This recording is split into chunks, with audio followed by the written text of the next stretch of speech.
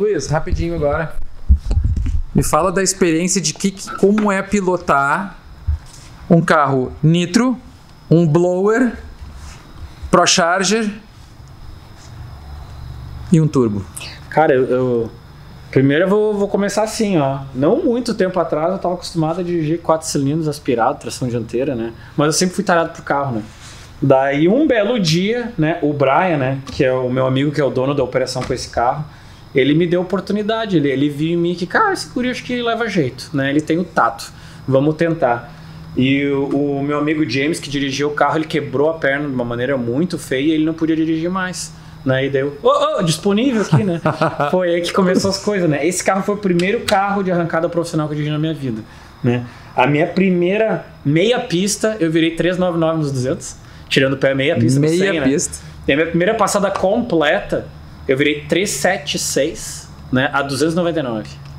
Foi a primeira passada do carro, né? Ou seja, tu já passou na primeira Na primeira. é, puxada completa a 300 por hora. a 300 por hora. Essa foi a primeira passada completa. E daí, ao longo do tempo, né, continuei evoluindo com esse carro e tudo mais, a gente chegou ao nosso melhor de 3.57, né, a 325, eu acho. Acho Hoje, mais- o- em- nos carros dessa categoria, qual é o mais rápido? Ah, nessa categoria que a gente entrou, na verdade, porque a gente acabou de mudar de categoria, a gente tá usando pneu grande agora, né? O mais rápido virou 5.9, 3.59. Só que nessa categoria tem mais peso e esse pneu é um desafio, né? Então, esse carro tem motor, chassi para virar talvez 349. Não sei. Nunca chegamos lá, né? Mas deu para ver que a 357 não foi perfeita, então ele poderia ser mais rápido. Mas era em outra categoria, pneu pequeno e mais leve. O peso afeta muito o comportamento do carro, né? Nesta categoria que eu andava, hoje todo mundo migrou. O nitro mais rápido durou 54, que é o nitro mais rápido de todos os tempos. Então a gente está a 3 centésimos do recorde mundial dos nitros, esse carro aqui. E o mais rápido de todos é um ProCharger, virou 349, que é o carro com injeção eletrônica mais rápido da história, usando o Fueltech.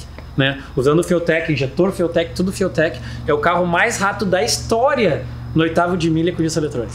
Fueltech é um orgulho para nós, né? é, que trabalhamos aqui e a gente vive um sonho, porque a gente olhava, até tem uma parede aqui, vou mostrar, depois eu, eu coloco no vídeo aqui.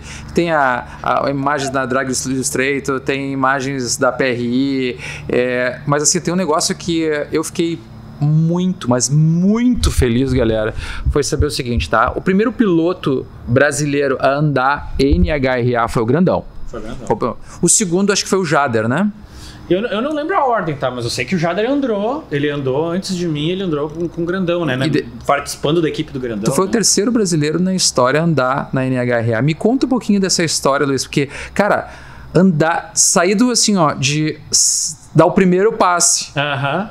andar a 300 por hora, no carro de um amigo, tudo bem, mas tu ter a oportunidade de andar na NHRA, ou seja, a maior liga de arrancada do mundo, numa prova oficial Oficial em Dallas. em Dallas Texas. com a carteira de piloto NHRA, Ah. que é um negócio assim, ca- é um negócio intransponível que a gente falava alguns anos atrás. Então tu andou na Promode. Me fala um pouquinho disso. Cara, é, é, um- é um sonho se tornando realidade, né? É difícil até colocar em palavras, mas a, o Brandon Pass, né, que é um tuner e um construtor de motor e piloto, ah, desde o início da Promote, e o Jeff Jones, né, que é o, que é o dono da equipe que também pilota. Eu acabei dirigindo o carro do Jeff Jones, né? Eles são meus amigos também, né? E a gente trabalha junto em várias coisas, né? Eles têm toda uma plataforma de motor que a gente trabalhou junto para chegar no resultado. Eu fico muito orgulhoso de dizer, né? Porque eu fiz na amizade com eles, mas era o sonho de vida deles, eles tá, tá dando muito certo para eles, né? E um dia, né, por causa desse meu esforço com eles e tudo mais, ele chega, ô Magrão, tu anda bem rápido com teu carrinho lá, Nitro, né? O que, que tu acha de andar quarto de milha com a gente? Ah, só faltou chorar na hora, né? E eu falei, cara, topo, topo, vamos fazer, né? Mas eu não tenho habilitação dele, não tem problema. Ah, hoje é sábado, né? Muda teu voo, segunda-feira tu vai pegar, tu vai- a gente vai fazer os testes, porque, cara, habilitação NHRA é com teste, né? Sim. Então, o que, que a gente fez? A gente tinha que testar os carros. Já que tinha que testar os carros e eu tinha que tirar minha habilitação, eu dirigi os três carros da equipe, um atrás do outro, sem parar. Eu, acho que, eu não lembro se eu dei 12 ou 13 passadas no mesmo dia com o Promode, né? Pra poder tirar minha habilitação. O tempo mais rápido que eu fiz, acho que foi 5, 7 nos 400. A 400 e alguma coisinha. Mas só um detalhe. Nós estamos falando de um Pro Mode que anda Na verdade, o screw blower mais. Era, era na época era o Roots, né? Era Roots, Hoje eles usam screw, screw. mas na época era o Roots, né? O compressor Mas uh, o Brandon Pez é, digamos assim, é um dos caras mais respeitados Sim. desse é um dos caras tipo mais rápido da história, né? da história. Isso. Ele é uma lenda aqui. Sim. O cara te convidou pra te andar num carro da equipe dele, num, num projeto que tu ajudou a desenvolver. E. Oh, e eu andei detalhe- no carro dele, cara. E quanto gira esses motores? Ah, depende do dia, né? Mas ele chega a girar 12 mil. Quando eu motor- andei, girei 11 Motor V8 com 500 polegadas gira 11 mil, 11, 12 11 a 12 mil. 11, 12 mil RPM. Toda passada. E qual é a sensação? Cara, esse carro aqui é animal, deve ser fantástico, mas qual é a sensação de andar com um motor V8 blower girando 12 mil RPM? Cara, é difícil. Cheguei até a me arrepiar aqui só de pensar. Cara, é difícil, viu? Mas olha só. No fim da reta, tá? 402 metros, tá? Eu vou te dizer. Num carro desses, desse padrão, assusta. Tá? 200 metros, eu vou ser bem sincero, não assusta, tá? É muito gostoso, é legal, mas não assusta. É bacana. 400 metros. Toda a passada que eu dei na minha vida de 400 metros no Promode assustou. Toda, toda. É, tu, tu gosta, tu tá feliz, mas esse aqui não. Esse que eu passo 200 metros não tem susto nenhum, é tranquilo. É, eu não sei o que acontece dos 200 até os 400, mas muda tudo, cara. E pista comprida, o problema não é frenagem. Quando tu vê aquele placar que é do tamanho de uma casa, tu olha pra ele tá longe, tu larga ele tá longe. Três segundos depois parece que ele se teletransporta, parece que o placar te passou. Não parece que tu passou o placar, parece que o placar te passou. E ainda mais com essa gritaria, né? O motor Sim. girando 11 O som do motor é algo fantástico, né? Parece um dinossauro à distância vindo. É uma coisa, uma loucura. É, é, porque né? assim, o, o som do motor é, como esse, é, girando que nem tu gira 8 mil, é, é bacana, mas um Muito. motor com 500 polegadas girando Mais, com pressão pra dentro. com pressão pra dentro, e na verdade assim, Com com pre- compressor, com a correia, então faz aquele, aquele, aquele zunido, né?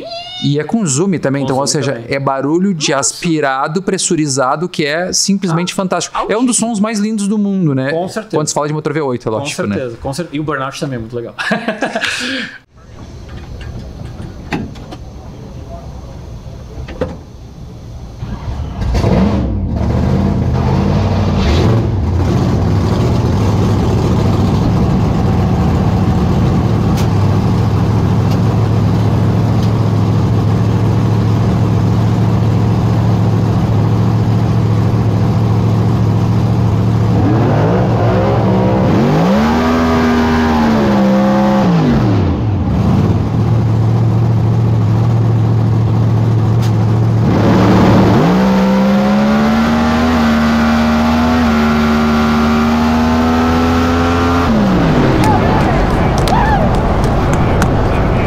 Luiz, tu teve uma fase que tu andou.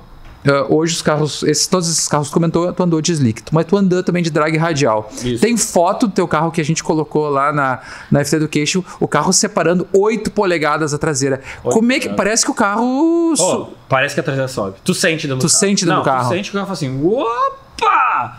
Tu sente, tu vê tudo na pista. Na Promode é o inverso. Tu não vê porra nenhuma. Sim, porque agacha e. Tu olha e tu vê as paredes, tu não vê mais o chão. Tu vê as paredes, uma de cada lado. No radial é o inverso, tu olha e tu tá olhando pro chão. Assim, olha ali, ó. Essa é a minha próxima pergunta. Qual é a sensação de guiar um carro, ou qualquer um deles, tanto com slick, mas assim, o que, que mais te chamou a atenção ou, ou o que mais te assustou nessa, nessa tua experiência de pilotagem, que nós estamos falando de uma. É, de um segmento que é ah, respeitado mundialmente na arrancada, que é a NHRA, que é a arrancada nos Estados Unidos.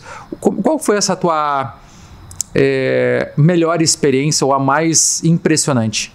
Olha, ahn, acho que todo carro impressiona, tá? Pra ser bem sincero.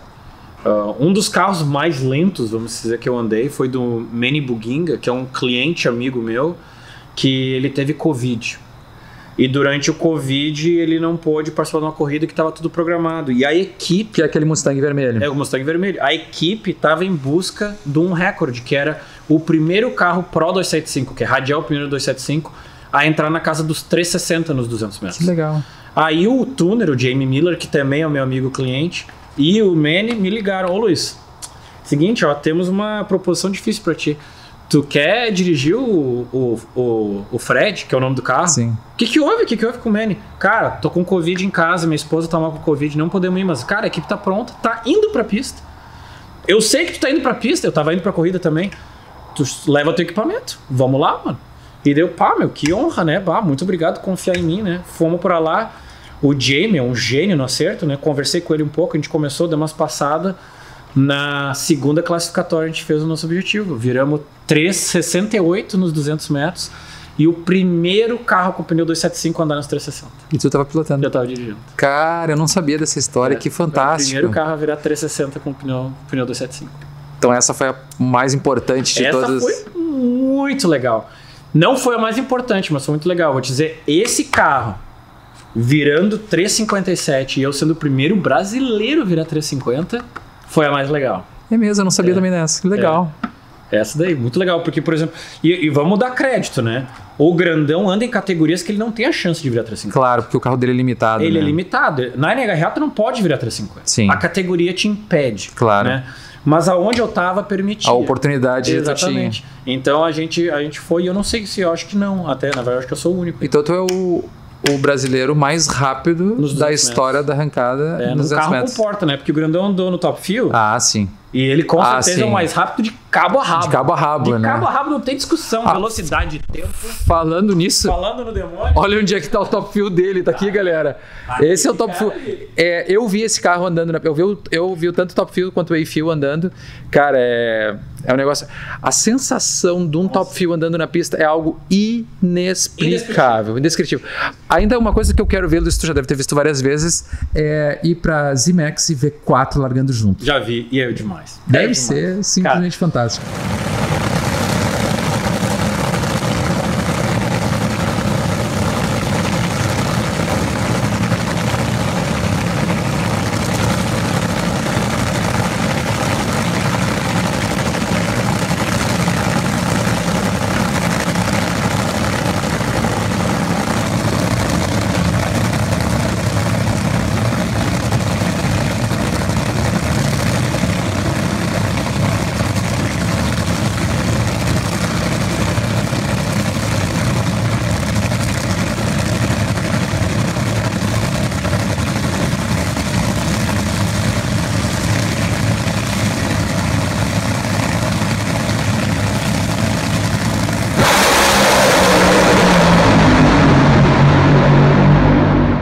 não ouve o carro, tu sente o carro. É, e daí. sente. Não, mas eu tenho um som forte em casa, eu sinto também.